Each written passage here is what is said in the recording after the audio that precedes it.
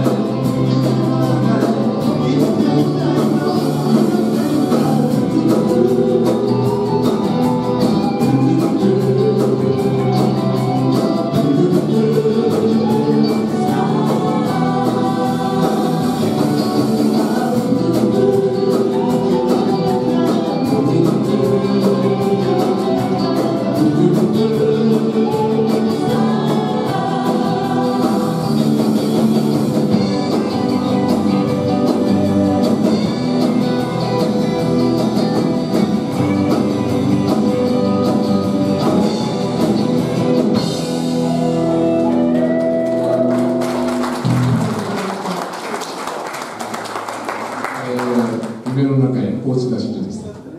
えー、まだ探し物は見つかってません、えー、次はですね、えー、デスペラー。デ、えー、このデスペラーデはですね、えー、日本語に訳すと「ならず者」という意味だそうです、えー、アメリカのバンドでですねイーグルスというバンドがありましてですね、えー、1973年に発表されたその後数々のアーティストがですね、えー、この曲をカバーしてきております、えー、今晩は、えー、サックスの両声で、えー、メインにしましてそういったサウンドでお届けしたいと思ってます、えー、スペラーとまだ用意ができて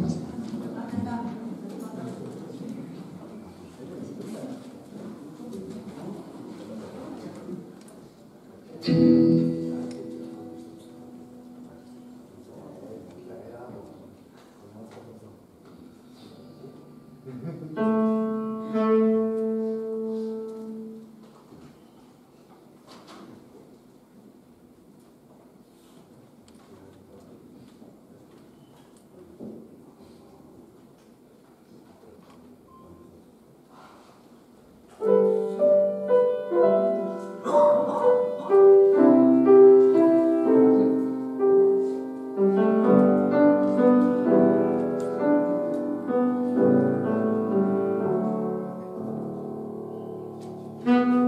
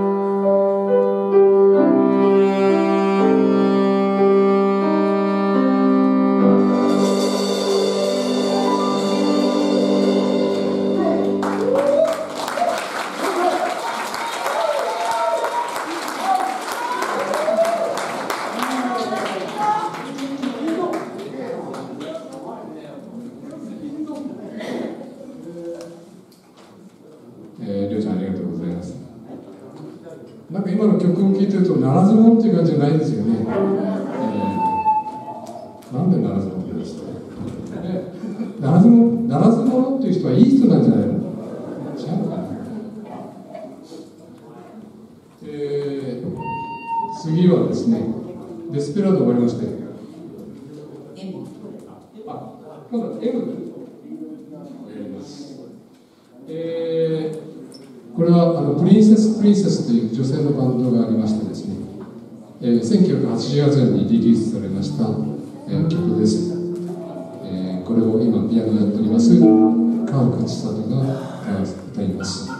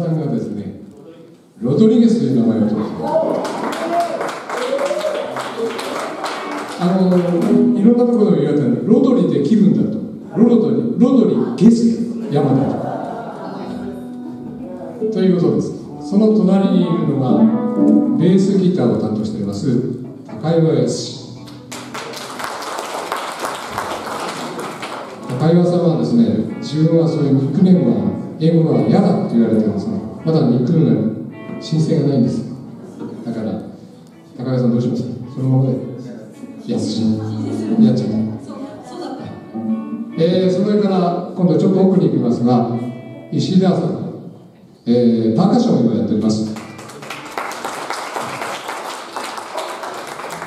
石田さんのニックネームは自己申請でですね最初は何だった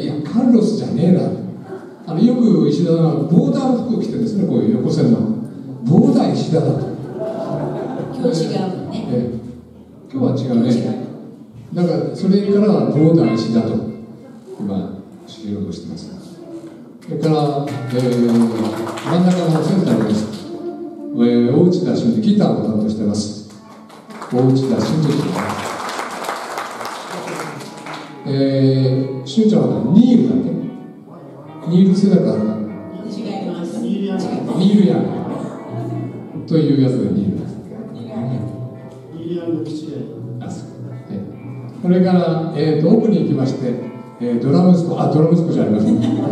佐々木健二。えー、健ちゃんはですねあの漫画に出てくるゴルゴ13に似てると。というでゴルゴ佐々木だ。それから、えー、奥の方行ってルイちゃん何かね。本当ルイですボーカルとパーカッションをやっております。で、ルミちゃんは、えー、コニー、コニーというのを自分で言っています。コニー・フランシスのね。これから、あとピアノの方へ行きます。家福千里。えー、家福さんは、えー、最初はね、何つったっけルなんだっけ忘れちゃった今ねノラがいいっつってるんですよ違います違うんだっけノラ・ジョーンズのノラですしもしもじゃないぞその時代に生きてましたノラカップっていうそれから、えー、一番左になります。サックスそれからブルート、えー、両方とも吹いてます。フォロワー吹いてないね。ないね。でこのもういろんなコンサートやいろんなところでりょうちゃんはですね歌も歌いましてですね。我々歌の歌ってるやつ人たちよりも非常にうまくてですね、えー、この前はジュリーの「勝手に仕上がれ」を歌ったんですよ、かったですね。で今度。ねここで「勝手に仕上がれ」えー、えー、両生はですねキース。すごい名前ですね。キース。有名なジャズピアニストなんですね。サックスにキース・ジャレットということでキースですそれから最後になりました私、えー、向山はチャーリーという名前つけました。そう。ねあのねちょっと軽いんですよね。あのね NHK の朝ドラにねこの前牢屋のところでね見張りをしてた人ーチャーリーってチ言うャーリーですねえー、俺これかよと思ってね。ちょっと変えようかと思ったそんなことで我々名前の他にニックネームで今呼び合ったりして。今日のプログラムにもそれは今、えーニックネームは書いてません。一応名前だけを書いてあります。えーとじゃあ元に戻ります。えー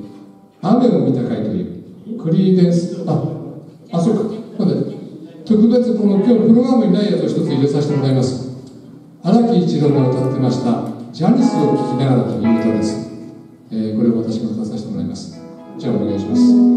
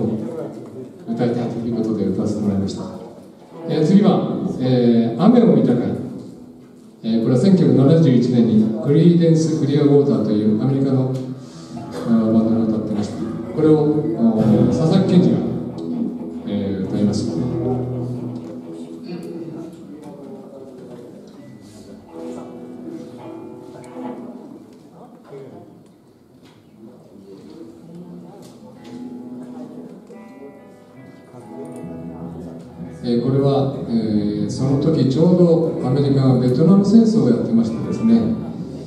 えーベトナム戦争でアメリカが空爆をしてナパーム弾をどんどんベトナムに落としたんです。それをですね、えー雨に例えてちょっと歌詞を変えてじゃないかというやつもいろいろ聞こえてきてました、えー雨を見たか。佐々木健一ワ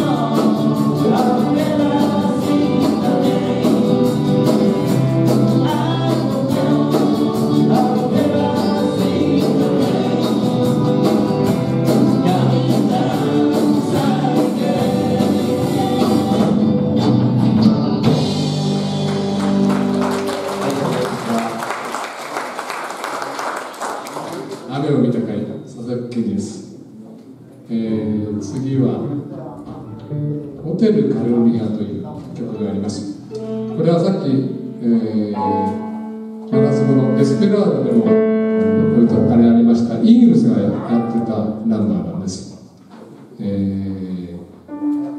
アメリカのカリフォルニアの、えーいろんなそういうホテルを舞台としてそういう歌詞が書かれています、えー日本ではこの曲は日産テレビではですねそのコマーシャルで日産の3人という車なんですがその3人の宣伝の時の曲で使われてました、えーでは大内田俊二で「ホテルカリフォルニア」「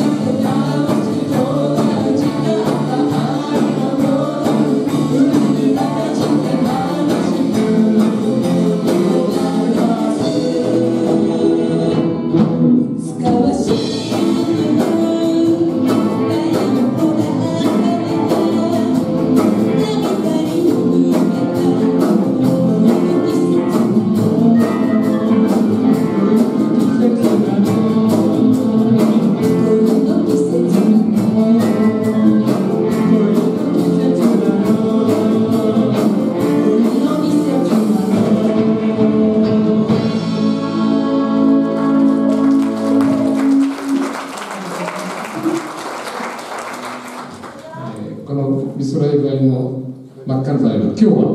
えージャッキー吉川とブルーコメッツのバージョンでやってみました、えー次は、えーいよいよ。最後の曲になります、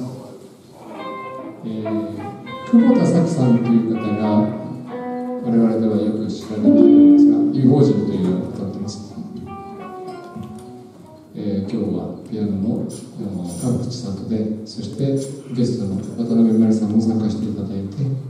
いい法人をやってみたいと思います。はいちょっと待ちます。それから先ほど一番最初にお願いしましたアンケートをすいません変えるときにあの受付のところに回収箱っていうんですかね箱がありますので鉛筆はそこにもうあると思いますのでちょっとお手間ですが書いておいてください。またより良い我々のコンサートにしていきたいと思っています「